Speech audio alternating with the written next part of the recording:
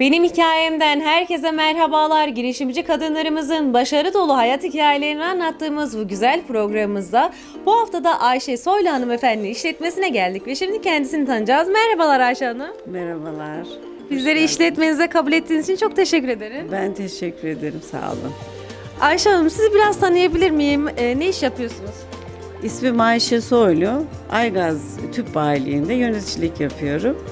Ee, Ankara'dan geldik biz 16 sene oldu. Evliyim. iki tane de çocuğum var. Allah bağışlasın. Amin. Sağ olun. Ee, işletmemize devam ediyoruz. 16 yıldır buradasınız. 16 Aynı yıldır işi yapıyorsunuz. Aygaz Bayiliği yapıyoruz. Evet aynı işi yapıyoruz.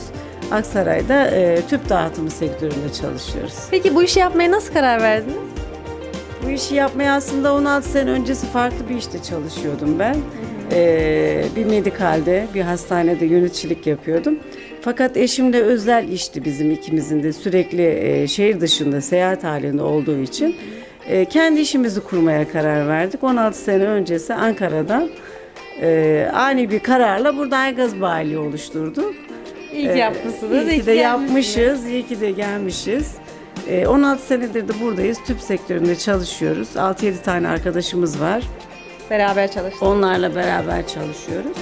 Şükür işimiz iyi devam ediyoruz. Hayırlı, bol, bereketli kazançlarınız olsun Sağ olun, inşallah. sağ olun. Teşekkür Peki ederim. bu işi e, yapmaya karar verdikten sonra başladınız. Nasıl tepkiler aldınız? Çevreniz neler söyledi? Şimdi ben Ankara'dan geldim Aksaray'a 16 sene öncesi. O zaman biraz daha üniversitenin e, daha henüz açılmamıştı. Özellikle benim bayan olarak bir tüp sektöründe çalışmam burada insanların çok dikkatini çekti. Hatta şaşırıyorlardı, kapatıyorlardı yüzüme telefonu yanlış mı aradım diye. Çünkü ilk etaplarda sürekli telefonlara ben kendim bakıyordum, servisleri ben kendim yönlendiriyordum. E, biraz da Aksaray bilmemenin yabancılığı da vardı. Arkadaşları çok da gezdirdim Aksaray'da. Ama e, genel olarak çok böyle bir farklı tepki alıyordum. Bir bayanın tüpçüde çalışması insanların tuhafına gidiyordu. Ama şu an biraz biraz alıştılar. Çok sıkıntı yaşamıyorum. Sizi göre göre, sesinizi duyarak alıştılar. Aslında güzel Aynen, de bir şey Aynen, aynen. Her e, erkek yapacak diye bir şey yok. Değişik sektörlerde de kadınlarımız yer alabilir. Kesinlikle her bayanın mutlaka mutlaka çalışması.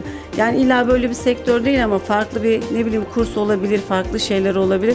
Mutlaka evde durmadan çalışması, kendi bütçesine, kendi ailesine, evine, çocuklarına katkıda bulunması kesinlikle şart. İnsanın özellikle bayanın kendini yetiştirmesi gerekiyor. Buna Faydalarını gördünüz mü Ayşe Hanım?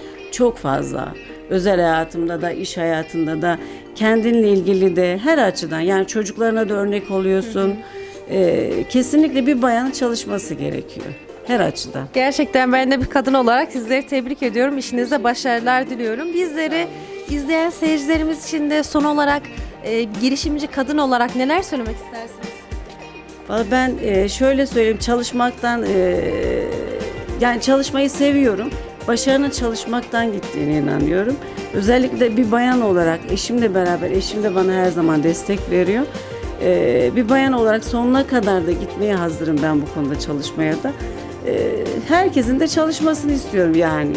İstesinler. Çünkü üstesinden çalışmak gerçekten özellikle bayanlar için e, ben e, bunun mutluluk getirdiğine inanıyorum. Başarı insanlara mutluluk sağlıyor. Yani bir en azından erkeğin yanında veya eşinin yanında altında kalmaktansa onunla beraber çalışıp bir şeylere destek olmak, evine destek olmak insanı aşırı derecede mutlu ediyor.